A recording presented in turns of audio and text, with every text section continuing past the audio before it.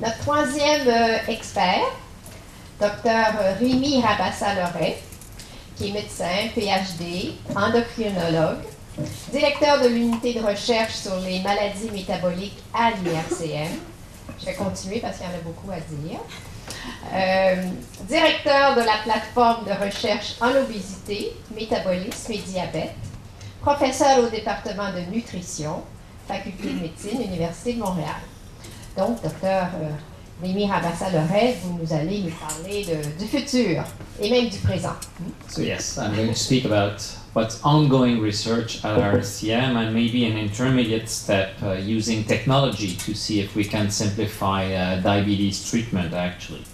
So just as a recap of what was said, is normally uh, each day people without diabetes secrete insulin. Those big green peaks are normal insulin secretion in healthy subjects that are lucky enough to don't have type 1 diabetes. And if you have type 1 diabetes, you absolutely need to replace this, and we have actually uh, three means. You can have different types of pens and or insulin pump, as Dr. Legault alluded.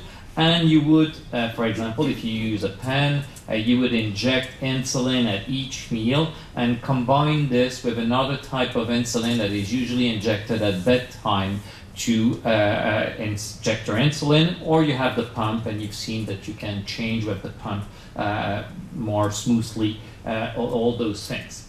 So then also type 1 diabetics, uh, as actually most of other types of diabetes, need to do blood sugar testing. And as already alluded, you either would do capillary blood glucose, you need a little drop of blood, which is actually considered by most patients as the most boring thing in diabetes. If they would have to choose one thing they could suppress, it would probably be that or those new fancy devices which actually still need 4 capillary blood glucose per day to be uh, well functioning. So that's actually the current thing, and it's really, I know that some of you probably are type 1 diabetic, so it's really day to day you need to inject, let's say if you are on a multiple injection, four times a day, and do four injection a day, and that's 365 days a year multiplied by numbers of years. So usually when I see, let's say, my next week, week of duty at the CHUM, if I see a new onset type 1 diabetic young subject of 20 years, I could predict that if the technology doesn't change, he, she will have been doing approximately, if I summarize, capillary blood glucose and insulin injection, 200,000 injection over his entire life, which is an enormous amount of injections. And on a day-to-day basis, if I try to summarize, I, am not type 1 diabetic. I'm taking care of a lot of type 1 diabetics, so I try to be the spokesperson of type 1 diabetic. They have to deal between two extremes. They know that if they have too high blood sugar, on the long term, this could damage a lot of organs. Eye, kidney, nerves, heart. We know how to prevent all of this, but it's kind of, I don't say that in English, a bit. You just, it's just over hanging all over your head, all those risks. But this is on the long term. You know, if we do make an effort and really get back the reward on the long term, that's not exactly human nature. And actually, I can never prove to a patient that he, she haven't done the complication last year because he, she did efforts 10 years ago. It's, you know, it's just like news. You cannot show, demonstrate that things have not happened before because you have made efforts. But on the opposite, the patient have to deal with a daily problem, which is hypoglycemia and people don't feel well hypoglycemia. You faint, you can even, and severe hypoglycemia, lost conscience, or, or, or don't really act as you would be. You could make more simple. You could lose your driving license if you would have hypoglycemia driving. So people are really driving and trying to to swim or to drive in between, a bit like with all our uh, orange cones here. They really try to to navigate in between they the problems, low blood sugar, and long-term effects of high blood sugar. So how those new technologies like pump and sensors can integrate in that. And I must say something that we haven't said up to now. Another problem with pump technology is that fortunately since last April, if you are below 18 years of age and pending some medical con- condition that are not so complex, uh, pediatrician and endocrinologists can get reimbursements for uh, kids with uh, with type 1 diabetes for pumps. If you're over 18, you need to have a good private insurance because actually the cost of the device is approximately between 6,000 and 7,000. The little box you saw in the pictures, 6,000, 7,000 dollars. And the cost of the sensors that work up to six days is $70 per sensor. It used to be $150 two or three years ago for only three days, so prices are going rapidly down. But it remains a very expensive technology that might be able to help patients. So we're going to try to see how it does. So if you would represent a typical day, here would be a day from let's say midnight to midnight, uh, and this would be blood sugar. Normal blood sugar is usually uh, below around 5.5 in, in type in healthy non-type 1 subject or non-diabetic subject. But we now know from very important studies that if people would remain before meal between 4 and 8 or 4 and 7 and don't go over 10 after a meal, this is, this is okay. So if this would be blood glucose and just like on driving, the green zone is really the zone where the, the patients are going to try to navigate and the, that's an ideal curve. The problem is that sometimes it go higher after meal, sometimes it would go lower not very dangerous on the short term, but it's really, you know, it's a problem on a constant basis to try to do that. So what can technology help us to do that? So you've seen that already, and this is an insulin pump, and you have that little catheter that is going on the abdomen. Actually, I must say there is a new generation of pump that we call patch pump. Actually, the pump is directly on the skin, approximately uh, less than half of the size of this one. It's really taped on your skin, and, and insulin is going below the pump. So let's say for a lady, it can be more discreet, and you, you could appreciate that. And you have those new little sensors, and this is really uh, normal size. So this is like a big pager, and this is would be a bit like the glass of a normal watch, and and the size approximately of beer cap and in, in, in thickness.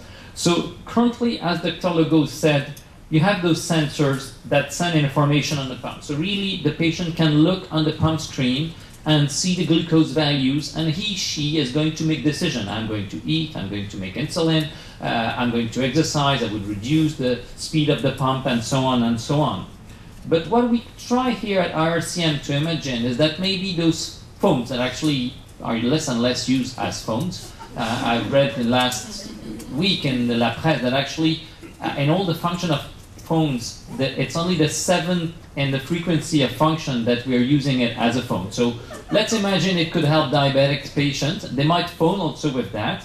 And you could send those glucose value to uh, software that would analyze them and try to figure from the last 30 minutes what could happen in the next 30 minutes. And you could, you know, it, it would be moving like this from five to five minutes to see. And then get back information to the pump, not bypassing the brain of the patient, but trying to simplify his life and do it, you know, for example, while sleeping.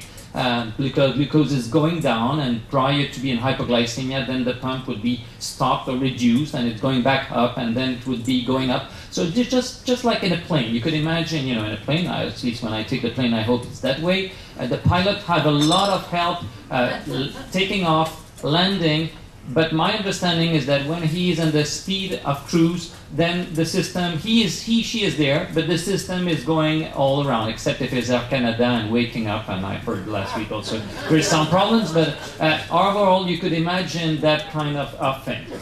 So as Dr. Legault, and we all have that picture. Actually, we haven't shown you the picture of the first kid treated with insulin. We might have, but it's this is exactly that's the first pump that was available in the 1960s backpack, Envene, intravenous. So we have we have made some progress actually uh, uh, since then. So actually, I'm going to show you we are making very active research to try to develop this. We are not the only one, but we are in the five most advanced team in the world. So we are quite proud of that. And we've just finished the study, which is actually submitted for publication in a very prestigious journal. So we don't know exactly what's going on, but these are the results we have uh, submitted. So 15 adults with type 1 diabetes, and I know that at least only two are, at least two are there uh, tonight, were invited. So it's all adults, they are all type 1, and they came on two occasions. And two occasions was 15 hours. It was an afternoon. We had them to make exercise. We are lucky enough to have a training room here fully dedicated for research. They had a supper, which was a lasagna, and I've heard that they didn't feel it was tasting so good. And actually, they had an overnight with us. So they had an overnight with the nurse and the engineer. So it's not like at home. We were really telling them it's time to exercise, it's time to eat. But we have tried to, to, to recreate in our test what happened in life. So exercise, as Dr. Legault, is a situation where blood glucose can go down when you're type 1, and obviously supper is a situation where blood glucose can go up. And overnight is really what is the most frightening for the patient. The patient they tell me, hypoglycemia at, the day, it's a problem, but hypoglycemia at night while I'm sleeping, it's a bigger problem. I'm afraid about that. So one, they had the classical, what we call CSII, which continuous subcutaneous insulin infusion, which is the complex word for doctors for pumps. Uh, we all have, have complex words for simple things. So once we had them, they had they did all that, and they were able, they were allowed to do whatever they wanted with their pump. You know, Madame Lavoie, what would you do? Monsieur Larochelle, what would you do? And they were doing that. And the other thing, we had artificial pancreas. So artificial pancreas is that we take the glucose values from the little glucose sensor we entered them into a computer. It was a very hard work. We have a tremendous young engineer here, Ahmad Haidar, who plot formula, actually the GPS, Global Positioning System of the diabetes. He's really taking all the things. We have discussion, Dr. Legault, myself, we tried, and he's really trying to say, okay, it's going up and this and that, and doing this. And actually, we had two pumps. We had the insulin pump, you've heard of that from the beginning. But as you might know, if you're going too low blood sugar, if you're type 1, you might need glucagon. Glucagon is actually the anti-insulin hormone. While insulin is really the hormone that makes blood glucose go down, glucagon is one of the numerous hormones that can, can make the glucagon go up. So if you would take a car analogy, if you only drive your diabetes with insulin, it's just being like driving a car and only being able to push on the accelerator or hold your foot to try to stop to the red light.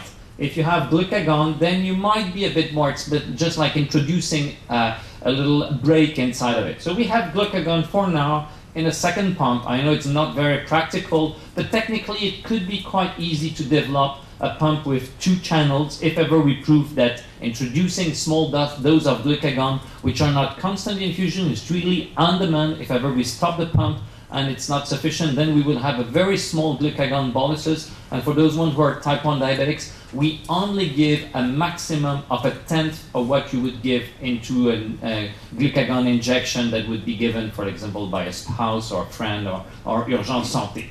So actually we compared a very classical treatment to what we call artificial pancreas, which were two pumps trying to recreate even more closer physiology with a computer analyzing the glucose and proposing a very dynamic adaptation of the pump. So exactly what I don't want my patient to do. If they change basal more than four times a day, usually I'm a bit suspicious. Here the basal was changed each 10 minutes and actually the computer was also proposing an insulin dose for the supper.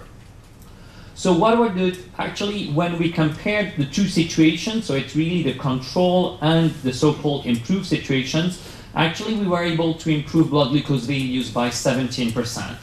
This is a bit less than what we expected, but it's already very significant and would be a tremendous improvement for patients. But more of all, we had a tremendous hypoglycemic risk reduction. Roughly, with the new system, we had no hypoglycemia. So it all depends, you know, like politics. So it's a minimum of four-fold hypoglycemic reduction and a maximum of 30-fold. But it's, you know, it's depend on when you calculate. If I only calculate from this time to this time with only female, I can have better than this time. But overall, it's around 8 to 10 fold in a hypoglycemic reduction, which is a very, very, very interesting thing for the patient. So might not bring so much mean improvement, which 17% if your wages would increase by 17%, you would find it significant.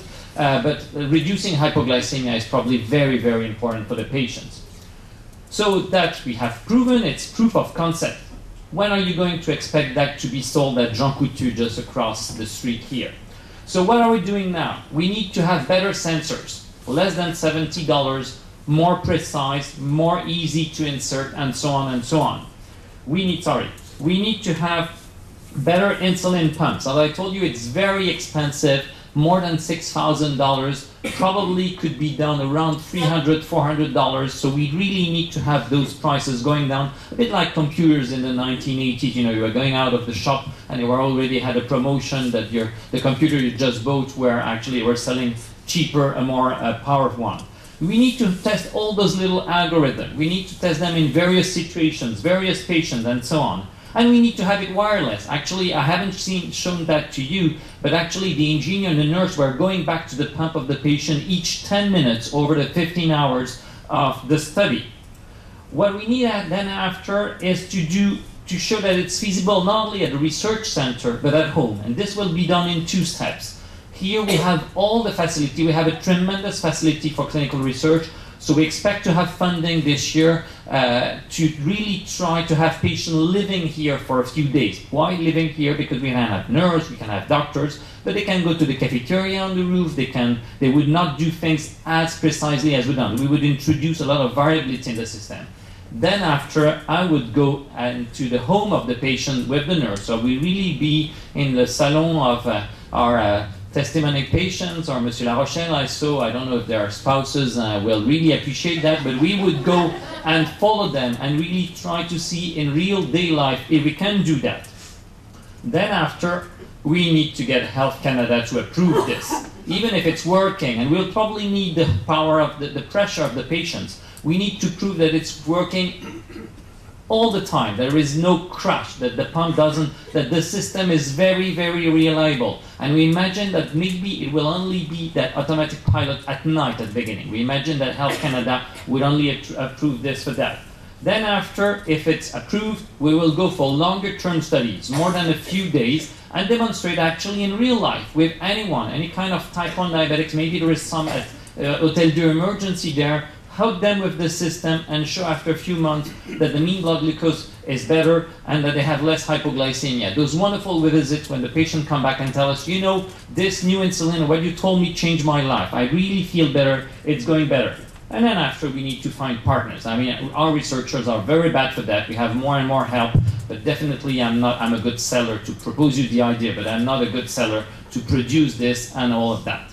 And a very final thing, just to show you that in between, because actually you haven't, I haven't insisted on that, but we feel that it's probably it might take minimum of five years, a maximum of a decade. So we, we know that we will need uh, to improve this. Just to show you what we are actually doing in between. Uh, what is ongoing research here, which is with uh, humans, just like you and me, we know that a lot of type 1 have sedentary habits. Actually, most Canadians are sedentary, but even more type 1 diabetic subjects are sedentary. So we try to figure what are the barriers, and we know now what they are. It's really hypoglycemia.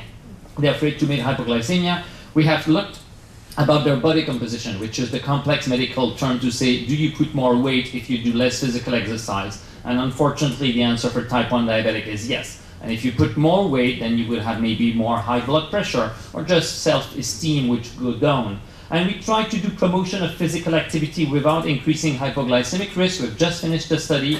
We have failed to really attain this, but we have a lot of indication that patients had a lot of benefit from that study, despite the fact that we didn't reach our primary endpoint. We do a lot of things around nutrition, carbohydrate counting. This is the complex medical term to know how you calculate your insulin dose and how much carbohydrate you have in your plate.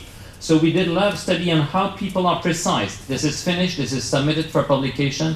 A mean carbohydrate meal for type 1 is 75 gram, and the mean error is 15 gram. And unfortunately, if you are over that mean error, you will have more glucose fluctuation and the problem is that patients tell us, we know that it's important, but it's so boring, please prevent us from that very complex thing. And even when we make efforts, we tend to make errors that we don't understand, exactly like uh, Garber, the, the, the author. Uh, then we try to develop artificial pancreas. We do a lot of things around hypoglycemia. It's really our barrier. People want us to have treatment with less hypoglycemia. And I can tell you that actually new insulin are about to be launched on the market that will provide, even without pumps, less hypoglycemia. We try to see how we can treat them and prevent them. For example, do people take too much carbohydrate, sugar things when they have hypoglycemia? How can we prevent them? If you're type 1, you really need to take a bedtime snack. We have an ongoing study where we try to figure if you really need to take a bedtime snack. And then after we focus very recently on what we call double diabetes. What is that? You unfortunately already have type 1, but with time you put weight, you need to increase your insulin dose, you tend to have things that type 2 diabetic patients have. You're overweight, you have high blood pressure, you have problems with your cholesterol, and now we have that uh, marketing term that, which is double diabetes. It's a type 1 diabetes that also have some features of type 2 diabetes that usually occurs at less, less age. And where are we are most active, we focus really on factors associated with nocturnal hypoglycemia. What can people do in their usual daily life to prevent this? And just to finish, we don't do that on the air. We need a lot of support, and we have tremendous support from the Canadian Diabetes Association and from the Quebec chapter, Diabète Quebec. We also have a very good support from IRCM. I'm lucky enough to have a large share that is mostly invested in those studies. And moreover, we have human resources. That name, he is a future star of the research. This is a tremendous young engineer. He really lives here in the real sense. Actually, he had two nights last week trying to finish things for patients. We have tremendous nurse and I have good colleagues to try to improve health of patients. Thank you very much.